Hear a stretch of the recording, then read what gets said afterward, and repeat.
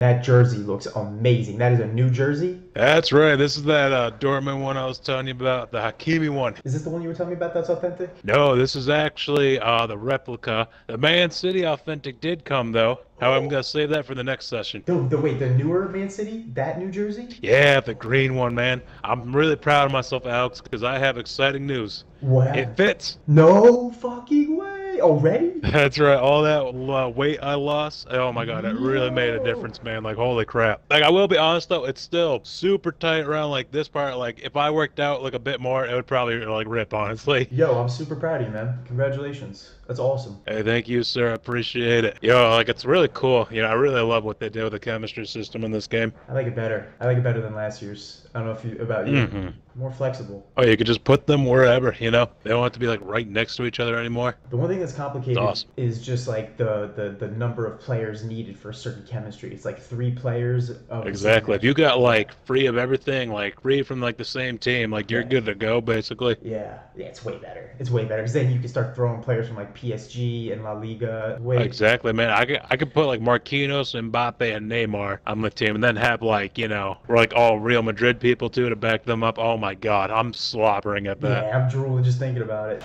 Really well played pass. Let's go. What a ball. What a ball. Pele's in the centre. Wow. Oh, oh he saved it. Wow. Should be a bit faster. You know what I mean? Yeah, yeah, they. Chiesa. And a goal!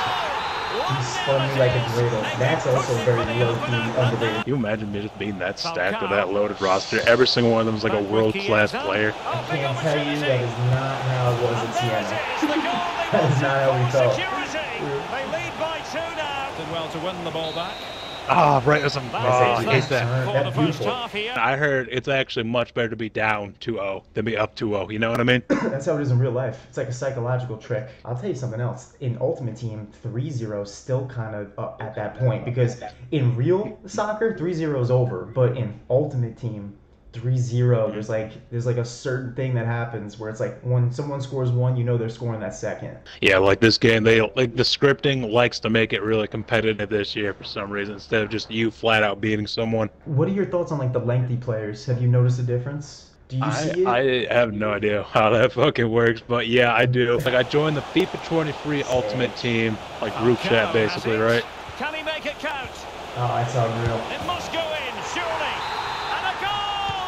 And! Falcao has it. This is the Can problem he right take here. advantage? In it goes! Such a complete performance. Four in front It's an now. incredible goal. Thinking back to like those uh those cards, Now, like the best can he play it SBCs to? for your buff. Oh, he's gone for Wow. goal. Oh my goodness! What an outrageous hit! Found Would be the perfect Yeah, counter-attacking no, 'cause I got opportunity. nothing, uh, got no shots Will going they on. profit from this situation? I didn't do anything offensively. Oh, it's Oh gone in. no. A significant deflection. That should be an own goal. That should not be his goal. And that is the end of the contest, and Wow. not a Uh, happy outcome as far as the visitors are.